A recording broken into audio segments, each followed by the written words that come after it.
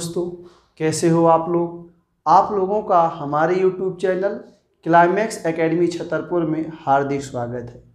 आज हम आपको नंबर सिस्टम पर ही विविध पार्ट टू पढ़ाएँगे, जिसमें हम आपको दस क्वेश्चन पढ़ाएँगे, पाँच प्रकार के होंगे। बहुत ही इम्पोर्टेंट है, आप लोग ध्यान से पढ़िएगा। चलिए स्टार्ट करें। देखेंगे टाइप सिक्स में पहला क्वेश्चन क्वेश्चन क्या कह रहा है? एक बेसबॉल टीम में नौ खिलाड़ी हैं। एक गेम जीतने के बाद प्रत्येक खिलाड़ी ने एक दूसरे से केवल एक बार हाथ मिलाया। तो बताइए, खिलाड़ियों ने कुल कितनी बार हाथ मिलाई?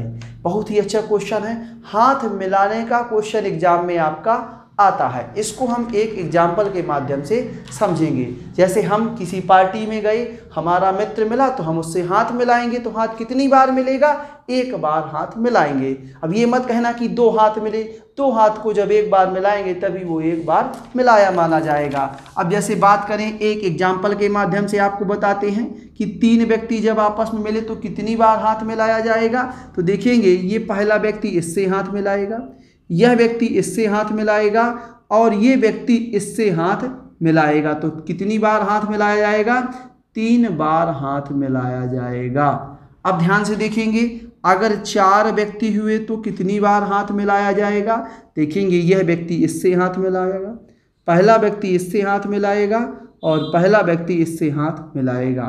अब देखो, यह व्यक्ति किससे हाथ मिलाएगा? इससे हाथ मिलाएगा और इससे हाथ मिलाएगा। अब देखेंगे ये व्यक्ति किससे हाथ मिला लेगा? इससे हाथ मिला लेगा। तो देखेंगे हाथ कुल कितनी बार मिला? हाथ मिला छह बार। जैसे आपका क्वेश्चन आ जाएगा कि पचास व्यक्ति हैं तो कुल कितनी बार हाथ मिलाए जाएँगे? तो आप इसको ऐसे जोड़कर नहीं लगा सकते। तो देखो, हम आपको बताते हैं कि जो हाथ मिलाने वाला क्वेश्चन है, उसको अपन किस प्रकार से करेंगे? देखेंगे, हाथ मिलाने का एक फार्मूला होता है। हाथ मिलाने का फार्मूला।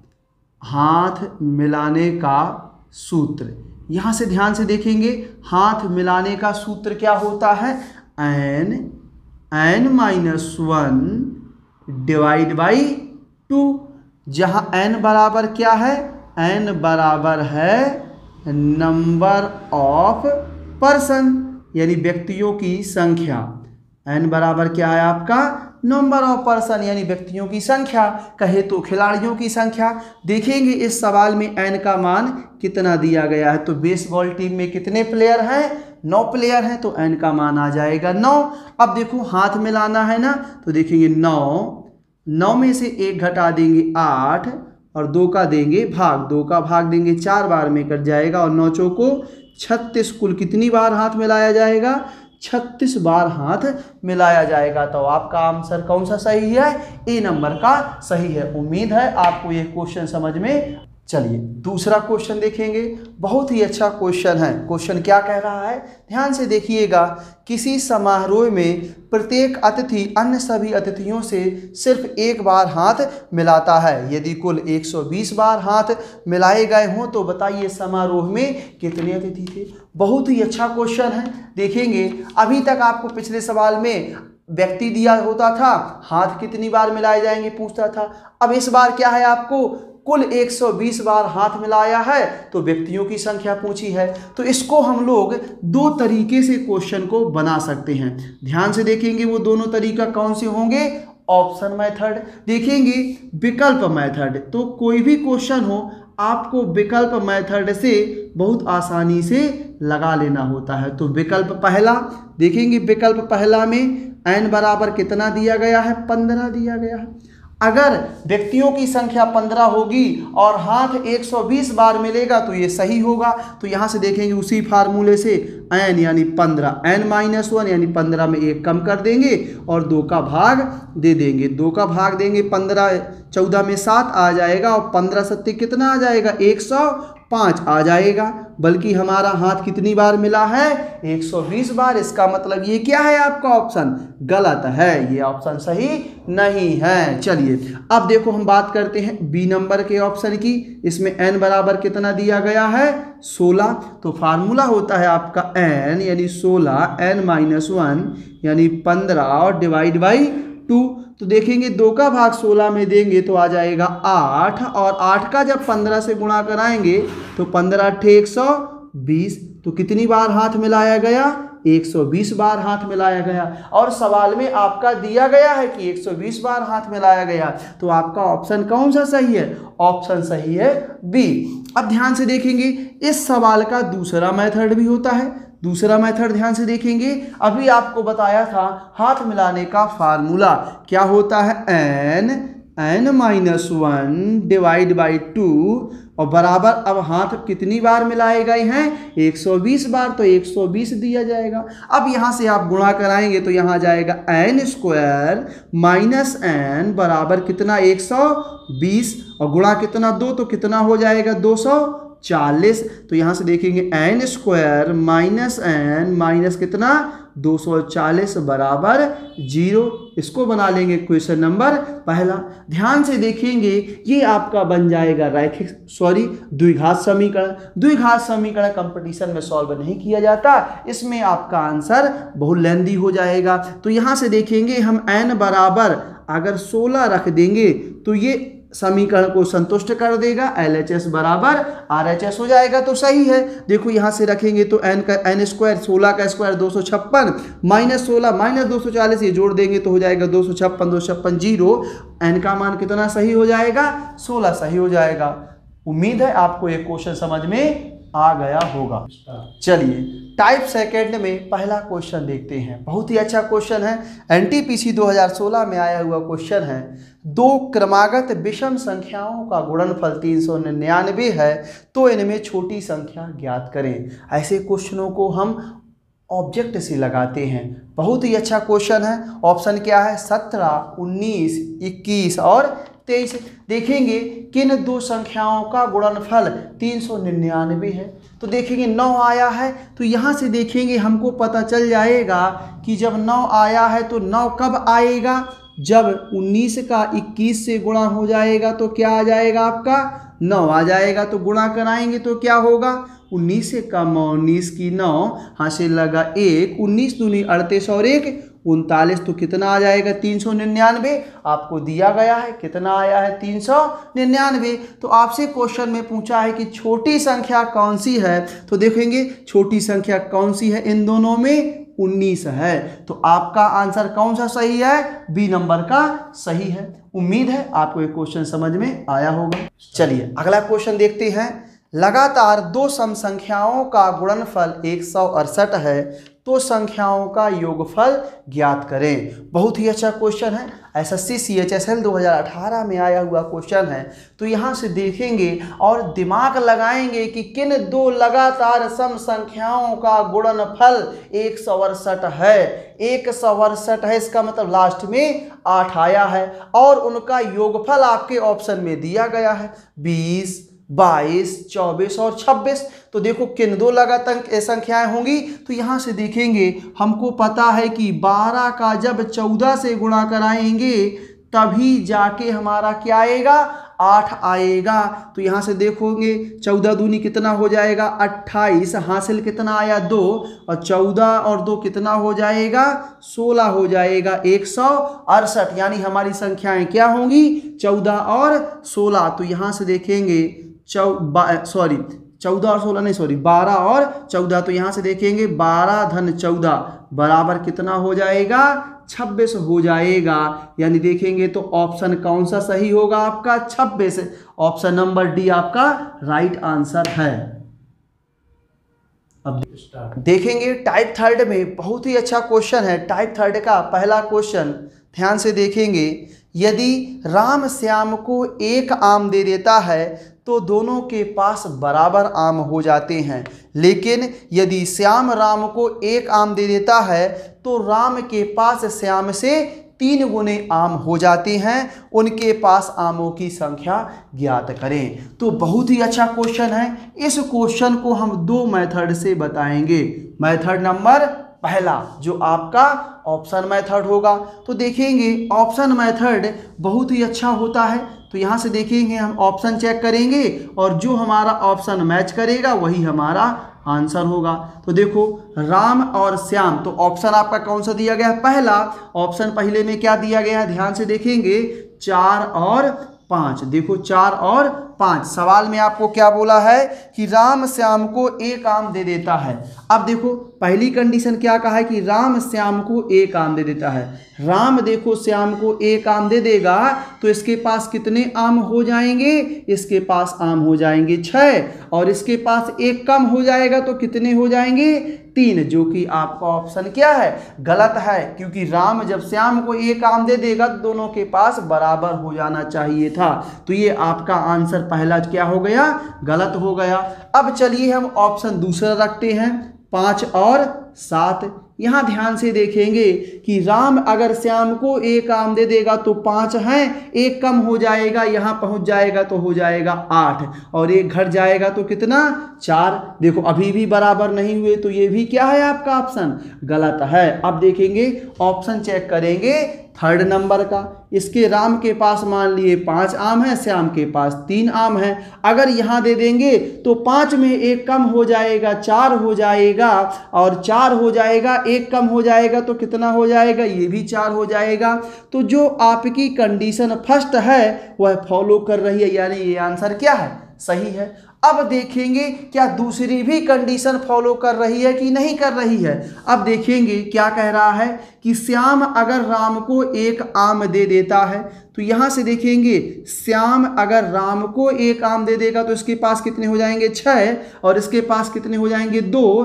तो कह रहा है कि श्याम अगर राम को एक आम दे देता है तो राम के पास श्याम से तीन गुने आम हो जाते हैं। क्या तीन गुने हो रहे हैं क्या? बिल्कुल वेरी गुड हो भी रहे हैं। ये देखो, तीन गुना हो गया तो ये भी कंडीशन सॉल्व हो रही है। यानी आपका ऑप्शन कौन सा सही है? ऑप्शन नंबर सही है सी पाँच और तीन। अब देखेंगे ध्यान से इस क्वेश्चन को।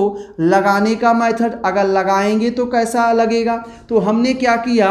राम के पास आमों की संख्या मान लिया एक्स और श्याम के पास आमों की संख्या मान लिया वाई अब देखो पहली कंडीशन क्या कह रहा है? राम अगर श्याम को एक आम दे दे, अगर राम यहाँ देखो श्याम को एक आम दे देगा तो इसके पास एक आम क्या हो जाएगा? कम है।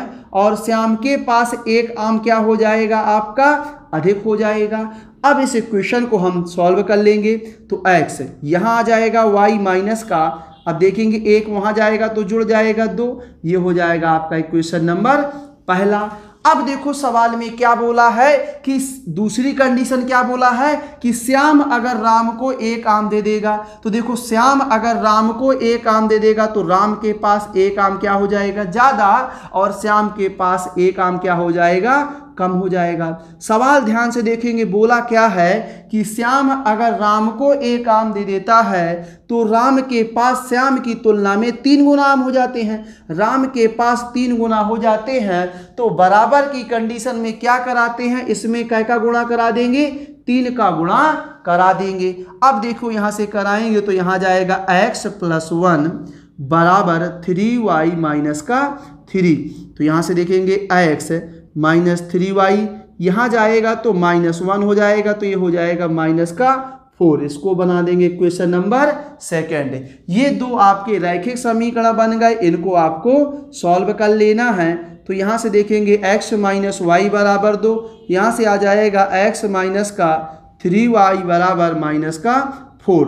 तो यहाँ से देखेंगे, अपन को पता है कि घटाने पर नीचे की संख्या के चिन्ह बदल जाते हैं तो ये कट जाएगा, यहाँ आ जाएगा टू आई बराबर सिक्स तो वाई का मान आ जाएगा थ्री, और इसको देखो वाई का मान मतलब श्याम के पास कितने आम हो गए? श्याम के पास तीन आम हैं। अब आप समीकरण फ़र्स्ट में रख दो तो तीन और दो, पाँच तो एक्स का मान कितना आ जाएगा?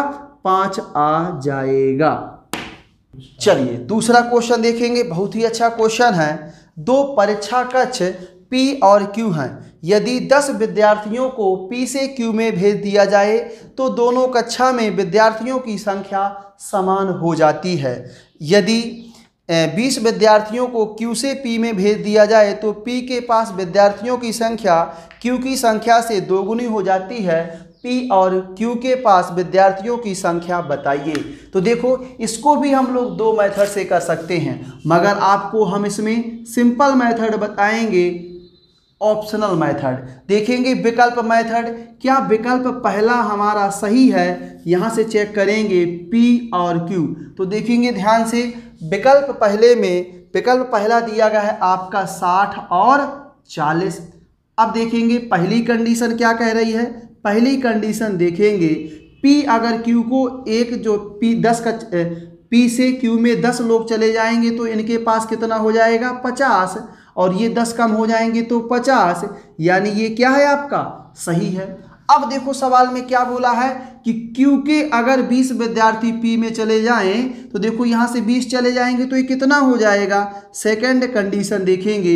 ये हो जाएगा आपका 80 और ये हो जाएगा 20 तो देखेंगे कि सवाल में बोला है कि दो गुना होना चाहिए, ये तो कितना हो गया? तीन गुना हो गया, यानी ऑप्शन ए आपका गलत है। दो गुना होना चाहिए था, इसमें तो चार गुना हो गए, बीस चौको अस्सी। अब देखेंगे, आप ऑप्शन बी में चेक करेंगे। ऑप्शन बी आपका दिया गया है सत्तर और पचास। तो यहाँ से देखेंगे पी के पास सत्तर क्यू के पास पचास। तो देखेंगे, पहली कंडीशन फ़र्स्ट कंडीशन क्या कह रहा है?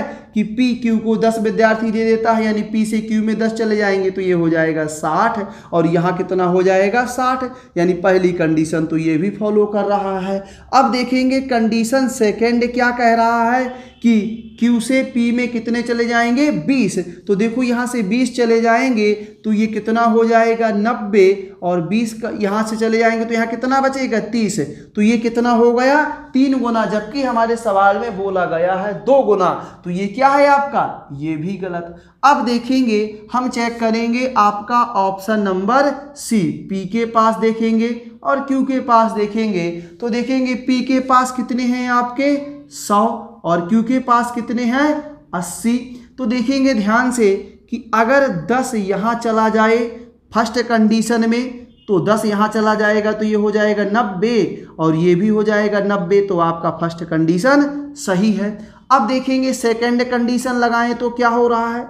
ध्यान से देखेंगे सेकंड कंडीशन में तो अगर 20 यहाँ चले जाएँगे तो ये हो जाएगा आपका 120 और ये हो जाएगा 60 जो कि आपको दिख रहा है, ये क्या है? दो गुना है तो ये भी आपका सही है। तो इस प्रकार से आपने देखा कि जहाँ दोनों कंडीशन फॉलो करें, वही आंसर सही होगा। तो दोनों कंडीशन फॉलो कर रहा है सी तो ये आपका आंसर सही है।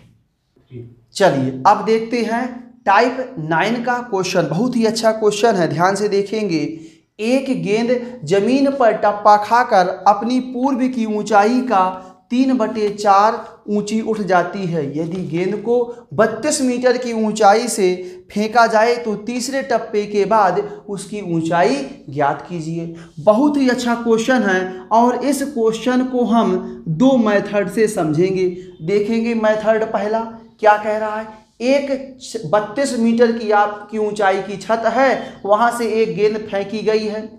प्रत्येक बार में तीन बटे चार ऊपर जाती है। तो बताइए तीसरे टप्पे के बाद कितनी जाएगी? तो यहाँ से देखेंगे मेथड पहला, यहाँ से देखेंगे पहली बार गिराया जाए तो फ़र्स्ट टप्पे के बाद ऊंचाई तो यहाँ से देखेंगे फ़र्स्ट टप्पे के बाद ऊंचाई तो 32 मीटर की ऊंचाई से गिराई गई है। कितना जाती है? तीन बटे चार। तो यहाँ से देखेंगे, चार का भाग देंगे, चार बटी बत्तीस, आठ तिया चौबीस। तो पहले टप्पे के बाद गेंद कितना जाएगी? चौबीस मीटर की ऊंचाई पर जाएगी। अब देखेंगे, दोबारा से हम उसको चौबीस मीटर से गिराएँगे। तो आपसे कहा है सेकेंड टप्पे के बाद कितना जाएगी? तो यहाँ से देखेंगे, चौबीस गुणा तीन बटे चार। तो देखेंगे छः तिया अठारह। कितना हो जाएगा? अठारह मीटर जाएगी। सेकेंड टप्पे के बाद अठारह मीटर। अब देखेंगे थर्ड टप्पे के बाद क्या हो जाएगी? तो थर्ड टप्पे के बाद देखेंगे, अठारह गुणा तीन बटे चार। तो दो से काट देंगे, दो दूनी चार, नौ आठ, नौ दूनी अठारह, नौ ती सत्ताईस का आधा कितना होता है आपका? साढ़े तेरह। यानी थर्ड टप्पे के बाद कितना जाएगी? तेरह सही एक बटे दो मीटर, ये आपका आंसर सही है। अब देखेंगे इस क्वेश्चन का सेकेंड मेथड सेकेंड मेथड क्या कहता है? ध्यान से देखेंगे। इसका एक फार्मूला लर्न कर लीजिए। देखेंगे यहाँ से एन वे टप्पे के बाद ऊंचाई। एनवे टप्पे के बाद ऊंचाई। एक आपको फार्मूला याद कर लेना है।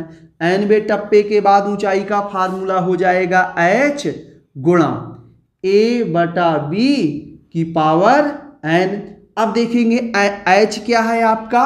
जिस ऊंचाई से गिराया जाए तो ऊंचाई कितने से गिराई जा रहा है? बत्तीस मीटर से। ए बटा बी क्या कहलाएगा? कितना ऊपर जाएगी। एन क्या है? कितने टप्पे के बाद पूछा गया है। तो देखेंगे ए बटे बी का मान है तीन बटे चार, और कितने कितने टप्पे के बाद पूछा है? तीन टप्पे के बाद तो यहाँ से देखेंगे एक, दो और तीन टप्पे के बाद पूछा है। तो अब देखो यहाँ से काट देंगे। चार चौको सोलह सोलह दूनी बत्तीस, दो से काट देंगे, दो दूनी चार। तीन तरह का नौ तो सत्ताईस का आधा कितना हो जाएगा? तेरह, सही, एक बटे दो मीटर। तो आपका देखो, दोनों मेथड से क्वेश्चन लग गया। उम्मीद है। चलिए, अगला क्वेश्चन देखते हैं। अच्छा क्वेश्चन है कोई गेंद अपनी उछाल में जितनी ऊंचाई से गिरती है, उसकी दो बटे तीन ऊपर तक उठ सकती है। यदि उस गेंद को 36 मीटर की ऊंचाई से फेंका जाए तो तीसरे उछाल के बाद उसकी जो है ऊंचाई ज्ञात कीजिए। तो आप इसको दोनों मेथड से लगा सकते हैं। आप इसको लगाएँगे फार्मूले मेथड से। एनवे टप्पे के बाद ऊंचाई। यहाँ से देखेंगे, एनवे टप्पे के बाद ऊंचाई। इसका भी अभी हमने फार्मूला बताया है। क्या होता है? एच गुणा ए बटा बी की पावर कितना? एन अब देखो कितने मीटर की ऊंचाई से ये गिराना है? 36 मीटर की ऊंचाई से गिराना है। और कितना उठेगी? दो बटा तीन। और कितनी बार उठा कितनी बार की बात पूछा है? तीन बार के बाद। तो यहाँ से देखेंगे हम, ये हमने बना दिया कितनी बार? तीन बार। अब देखेंगे तीन तरह का नौ नौचों को छत्तीस। अब देखेंगे चार दुनिया आठ दुनी सोलह दुनी। बत्तीस तो ये आ जाएगा। बत्तीस बटा तीन आपका आंसर इसका चाहे तो भाग दे लो तो दस बार जाएगा। दस सही दो बटे तीन मीटर आपका आंसर आ गया। ठीक है? नोट कर लेंगे सब लोग। टाइप दसवा देखते हैं। बहुत ही अच्छा क्वेश्चन है। क्या कह रहा है कि एक आदमी ने एक नौकर को इस शर्त पर रखा कि वह उसे अस्सी रुपये और एक जोड़ी जीन्स एक वर्ष की सेवा के बाद देगा। उस आदमी ने केवल नौ महीने सेवा दी तथा एक जोड़ी जीन्स और पचपन रुपये प्राप्त किए। तो बताइए, जीन्स की कीमत क्या है? बहुत ही अच्छा क्वेश्चन है। ध्यान से देखेंगे कि एक आदमी जो है, एक साल में उसको अस्सी रुपये मिलना था और क्या मिलना था? एक जोड़ी जीन्स मिलना था। अस्सी रुपये मिलना था, एक जोड़ी जीन्स मिलना था। अगर वह कितने माह की सेवा देता? एक साल सेवा देता, यानी बारह माह की सेवा देता। ध्यान से देखेंगे, उसने पचपन रुपये प्राप्त किए हैं और एक जोड़ी जीन्स प्राप्त कर लिया है। सेवा कितने महीने दी गई है? नौ माह की सेवा दी है उसने। देखेंगे, इसको बना लेंगे समीकरण नंबर पहला, इसको बना लेंगे समीकरण दूसरा। दोनों को सॉल्व कर लेंगे। हमें पता है कि घटाने पर नीचे की संख्या के चिन्ह बदल जाते हैं तो ये जीन्स से जीन्स आपका कट जाएगा। यहाँ से घटाएँगे, दस में से पाँच गया तो पाँच, आठ में से छः गया तो दो, और यहाँ कितना आ जाएगा? तीन माह तीन माह का मान आ जाएगा पच्चीस तो एक माह एक माह का मान आ जाएगा पच्चीस बटा तीन आ जाएगा। इसको आप समीकरण या तो फ़र्स्ट में रख दें या सेकंड में रख दें। समीकरण फ़र्स्ट में रखेंगे तो देखो क्या आ जाएगा? अस्सी प्लस का जीन्स एक जोड़ी जीन्स बराबर बारह गुणा पच्चीस बटा तीन। अब देखो तीन का भाग बारह में देंगे तो चार बार में कट जाएगा। पच्चीस चौको सब हो जाएगा, अस्सी जाएगा तो घट जाएगा। तो कितना बचेगा? बीस बचेगा। यानी जीन्स एक जोड़ी जीन्स की कीमत कितने रुपए है? बीस रुपए है। चलिए, देखेंगे। अच्छा क्वेश्चन है। एक व्यक्ति ने एक सेवक को इस शर्त पर रखा कि वह उसे एक वर्ष की सेवा के पश्चात नब्बे रुपए और एक पगड़ी देगा। उस व्यक्ति ने केवल नौ महीने काम किया पैंसठ रुपये तथा एक पगड़ी प्राप्त की तो बताइए उस पगड़ी की कीमत क्या है? बहुत ही अच्छा क्वेश्चन है और इस क्वेश्चन को आपको ध्यान से देखना है। ध्यान से देखना है कि एक व्यक्ति है, जिसने क्या किया है? देखेंगे, एक व्यक्ति है, जिसने काम किया है, नब्बे रुपये प्राप्त होंगे उसे और एक प्लस पगड़ी मिलेगी।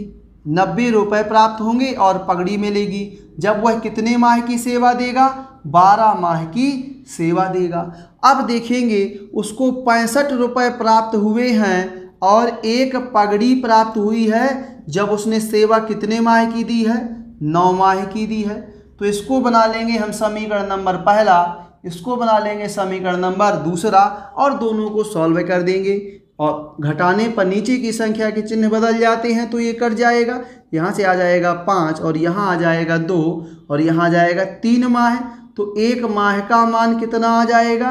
एक माह का मान आ जाएगा आपका पच्चीस बटा तीन। आप समीकरण फ़र्स्ट में रख देंगे तो यहाँ से देखो नब्बे रुपये प्लस आपका आ जाएगा पगड़ी बराबर बारह गुणा पच्चीस बटा तीन। तो यहाँ से देखेंगे तीन चौको बारह पच्चीस चौको सौ नब्बे घटा देंगे तो पगड़ी की कीमत आपकी आ जाएगी दस रुपये पगड़ी कीमत आ जाएगी दस रुपये उम्मीद है आपको ये क्वेश्चन समझ में आ गया होगा। अगर आपको हमारा वीडियो पसंद आया हो तो आप हमारे चैनल को लाइक करें, सब्सक्राइब करें और दोस्तों को बताएँ।